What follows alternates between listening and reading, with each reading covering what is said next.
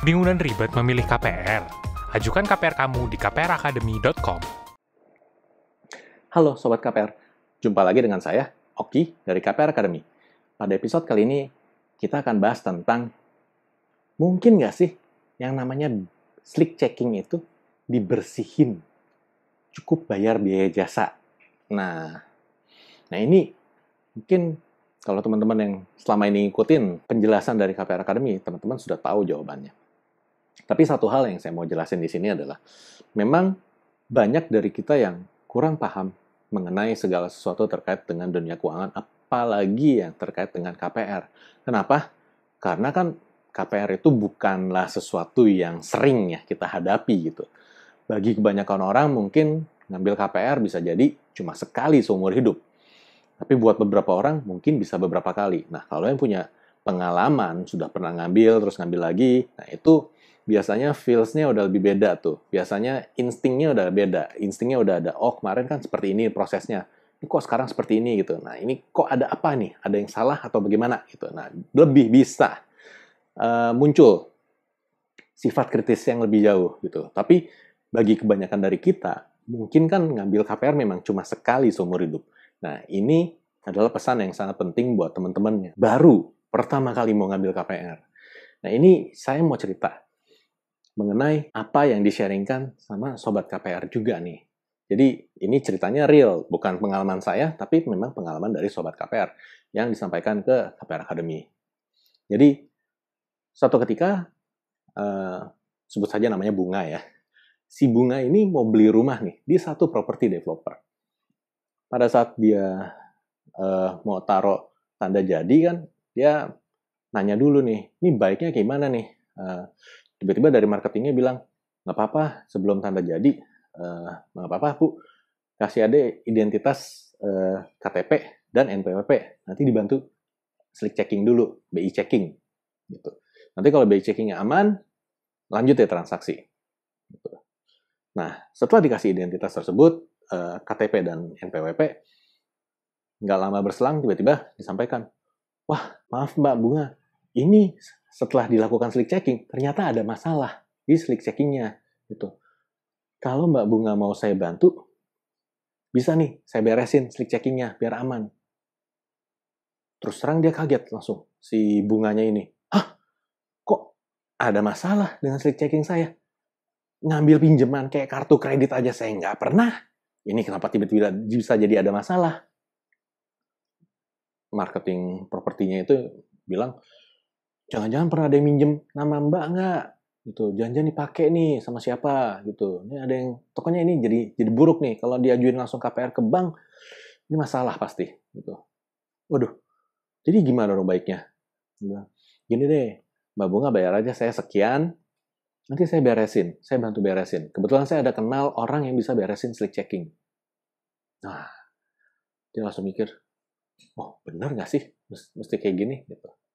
Nah, kebetulan Mbak Bunga ini sobat KPR juga gitu dan dia nanya gitu sama tim expert kami dan kami jelasin bahwa yang judulnya slick checking itu nempel sama NIK, sama NPWP maupun sama alamat dan tanggal lahir dan nama.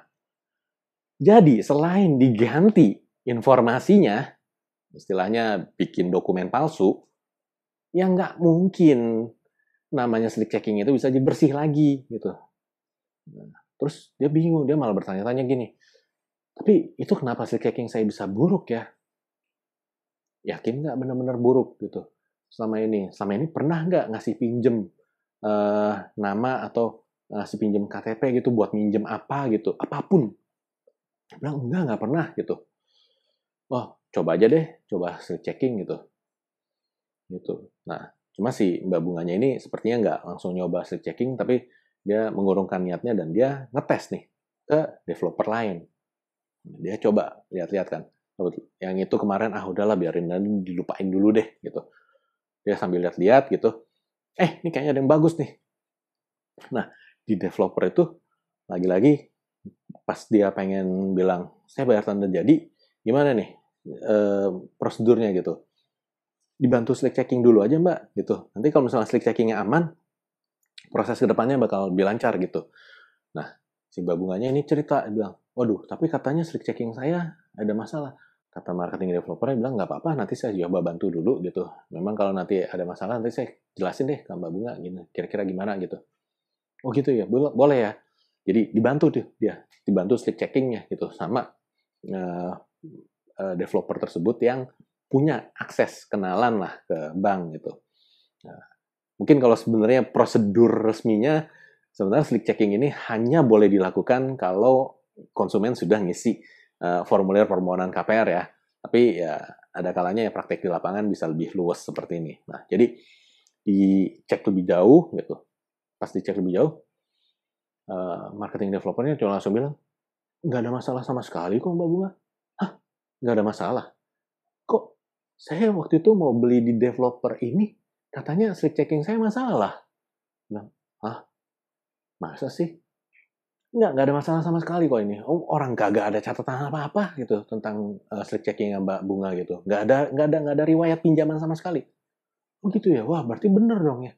Tapi kenapa kemarin itu saya dibilang slick checkingnya masalah, terus nanti mau dibantuin gitu, uh, bayar sekian nanti bisa jadi beres lagi gitu, jadi bersih lagi.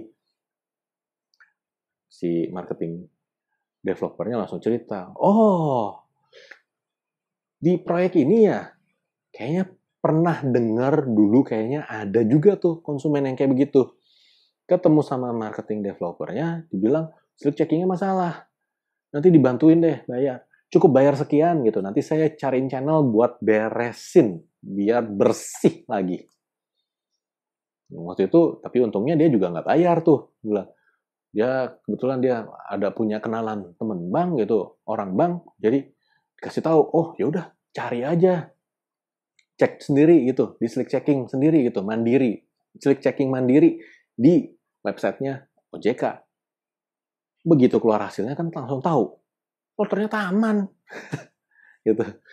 Jadi kalau dari cerita-cerita tersebut yang bisa saya simpulkan adalah sebenarnya ketidaktahuan kita itu bisa dimanfaatkan oleh pihak-pihak yang lebih berpengalaman dari kita yaitu mereka yang berkecimpung baik itu di properti maupun di perbankan gitu. Nah, jadi buat teman-teman yang baru pertama kali mau ngajuin KPR, mau beli transaksi eh, mau bertransaksi properti, beli properti, teman-teman ada baiknya teman-teman belajar dulu gitu atau minimal konsultasi deh.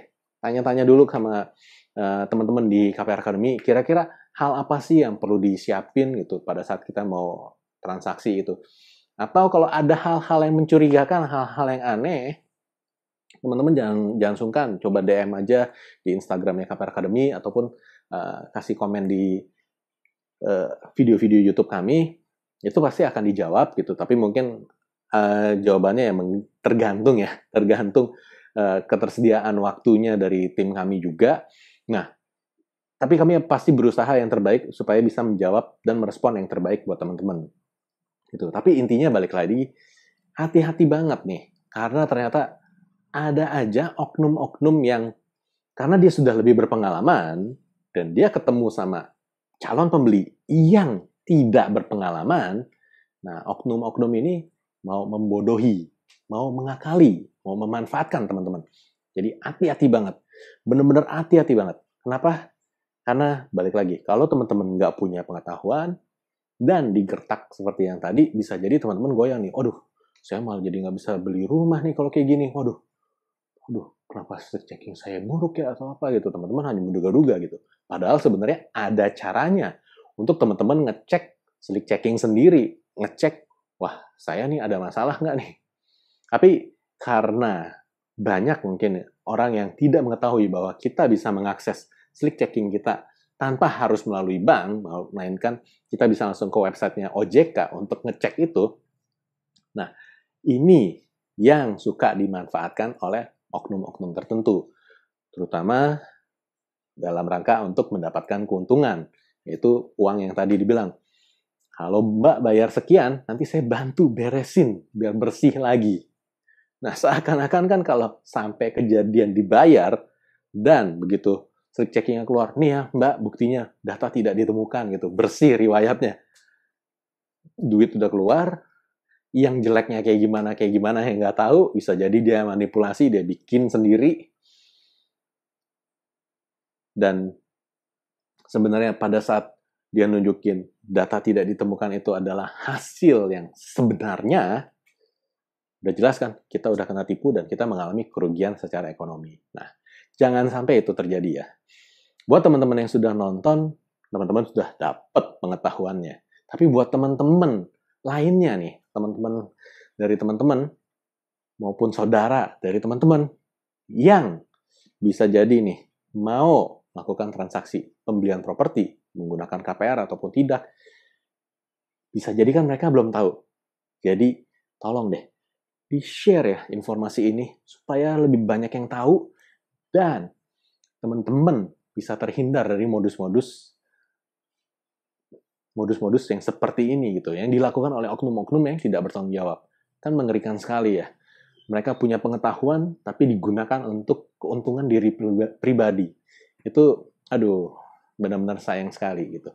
Nah makanya di KPR Academy kami selalu share informasi-informasi yang penting seperti ini supaya lebih banyak orang yang tahu dan semakin banyak yang kritis di saat mau melakukan transaksi supaya bisa mendapatkan penawaran yang terbaik dan tidak tertipu. Oke, sampai di sini dulu pembahasan episode kali ini. Semoga teman-teman dapetin manfaat yang maksimal dari informasi yang saya sharingkan. Dan sampai jumpa di episode berikutnya. Bye.